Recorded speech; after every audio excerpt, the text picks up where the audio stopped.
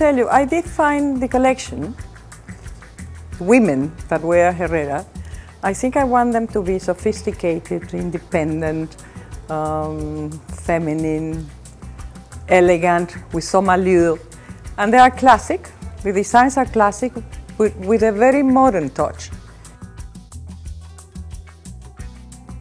For me, sunglasses and glasses to read are the most important of all because I think it's an accessory that everybody adores. The sunglasses especially, and especially here in LA. you see many people with the glasses on, but I also, um, I think it adds something to a woman, to a man, to fashion. That's why they change with collections. Women and men and everybody who wants to see, who, wants, who goes into a place to buy something, the first question they ask is, what is new? So you have to have newness in fashion. That's why it's so important. And that is because of the colors, because of the cut of the dresses, because of the materials that one mixes. And so that makes it new and uh, exciting. You can be um, totally private with a, a, pair of wonderful big sunglasses. You can change your personality, it's very easy. And also you feel very, very comfortable wearing glasses because if you don't have any makeup or, or you don't have, uh, um, you know, you, have, you went to bed very late or whatever, you take a pair of sunglasses and you go out and you think that nobody's going to see you. it's a good compliment. to have a very good quality, and second, they have to fit. It's like wearing a dress that doesn't fit you. Sometimes you see this person wearing the glasses that are here because every time she does that, they collapse, no? It has to be well fitted, like a dress.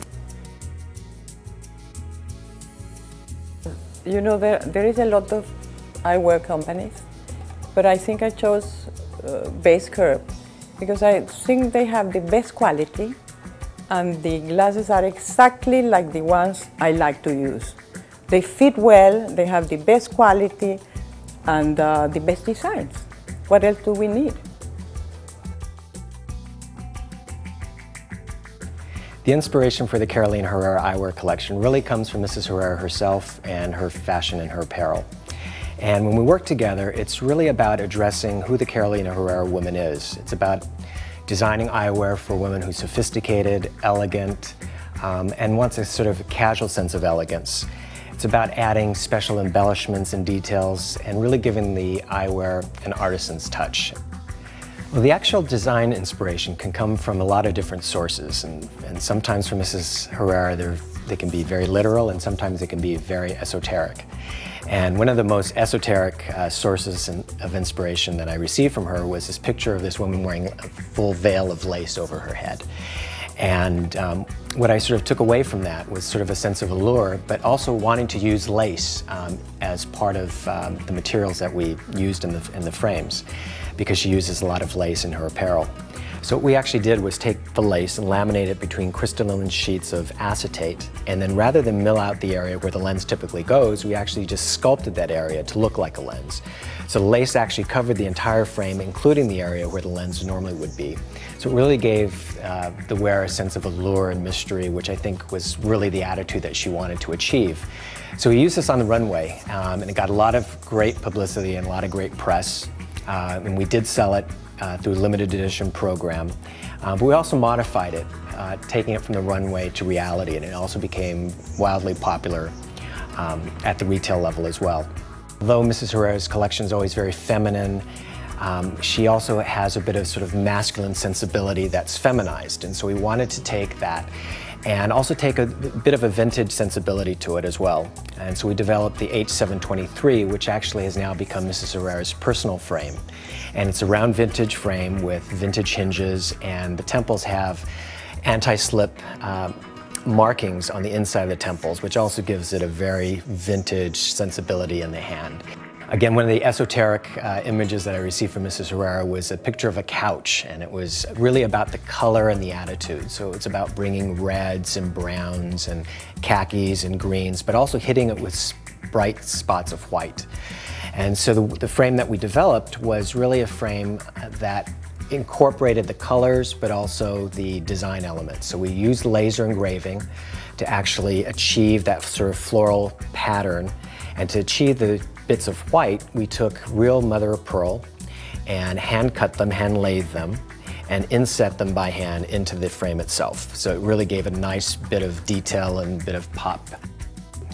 And Mrs. Herrera loves to use a lot of hand embroidery, a lot of embellishments, a lot of details, a lot of beading in her work because it really does speak to the artisan hand that she has and the, and the sensibility that she brings to her product.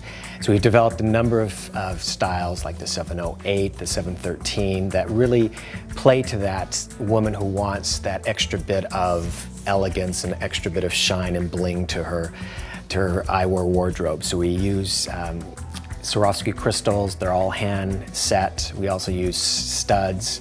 On the 708, for instance, there are over 300 studs and stones that are individually uh, hand placed. And so there's a lot of workmanship and a lot of hand craftsmanship that goes into her, uh, to her eyewear. One of the motifs that she's using this season is this concentric circle.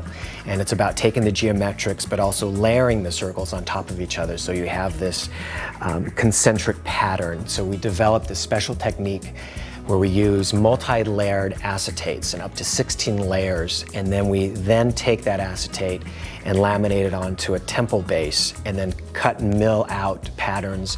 Um, we have sort of a, a rounded square, we also have triangles on, for instance, the 728 on the sunglass. So it really gives a nice um, interest, it gives a bit of geometric pop, and from a technical standpoint is also very, very difficult uh, to make.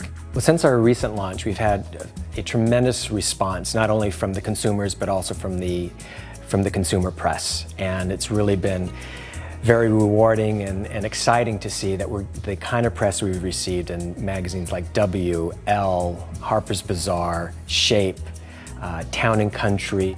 And we've also had a tremendous amount of uh, celebrities that wear the glasses. So for instance, Julia Louis-Dreyfus and the girls from The Office, um, the TV show on NBC.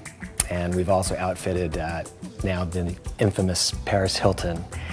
And the list goes on with actresses like Reese Witherspoon, Renee Zellweger, uh, Sandra Bullock are some of the uh, celebrities that wear uh, Carolina Herrera sunglasses.